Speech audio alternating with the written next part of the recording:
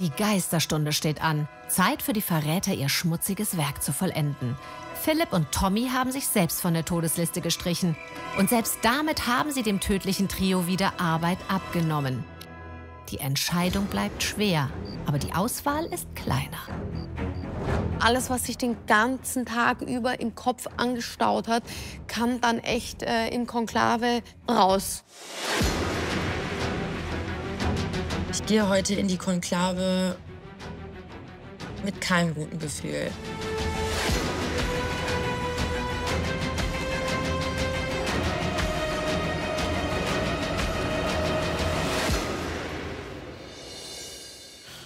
Na, Mädels.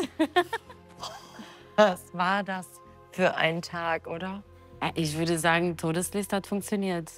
Und ich glaube, es war echt ganz schlau, dass wir keiner von uns auf die Liste genommen haben, Das weil die so haben wichtig. sowieso gedacht, dass einer drauf ist, safe. Die haben gesagt 100 Prozent. Und das war echt clever, dass wir nicht gemacht haben. Alle denken natürlich, dass ein Verräter definitiv auf dieser Liste drauf sein müsste. Und das ist natürlich schon wieder für uns äh, ein leichtes Spiel. Aber heute, oh, ich hätte mir so gewünscht, dass Philipp noch auf der Liste wäre. Bin ich ehrlich. Mir wird Philipp wahnsinnig gefährlich. Es ist so, dass ich die ganze Zeit spüre, wie er mich ansieht. Und das kann mir zum Verhängnis werden. Ich darf das nicht zulassen. Eigentlich muss ich Philipp ermorden, aber ich kann es heute Nacht nicht. Susan wird auch verdächtigt. Susan war direkt nach dem runden Tisch Hauptthema. Ich habe noch so zugehört, dass Loyale, die haben so, ja, ganz klar. Also, wenn ich jetzt ein Verräter wäre, ich so, danke für die Arbeit. Ist ja schon, ja, die haben schon die Arbeit für uns erledigt. Das hast du, du hast das gestern auch gesagt, die werden sich selbst Ja, zermetzen. definitiv. Ich weiß nicht genau, wer Susan auf dem Radar hat, dass wirklich einige Mitspieler der Meinung sind, dass wenn Gülcan nun ermordet wurde, Susan die Verräterin sein muss.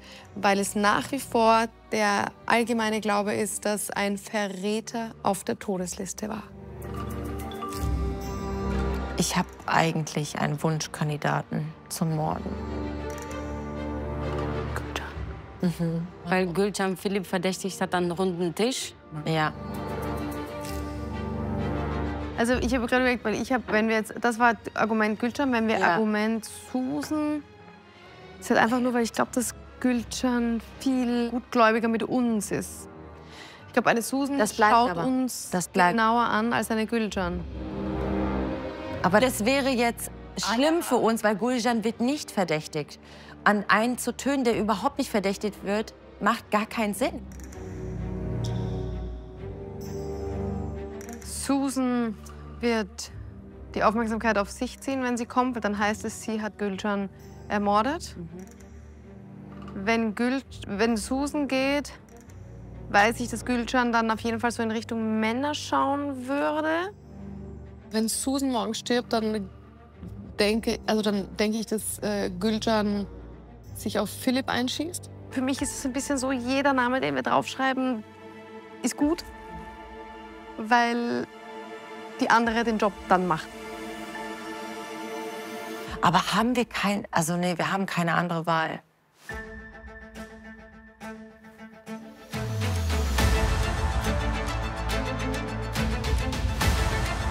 Wir haben die Person umgebracht, die uns einfach das Leben leichter macht. So, Ladies, langen Atem morgen. Wir schaffen das zusammen. Die Konklave ist gut gelaufen, aber mir ist unwohl bei der Entscheidung.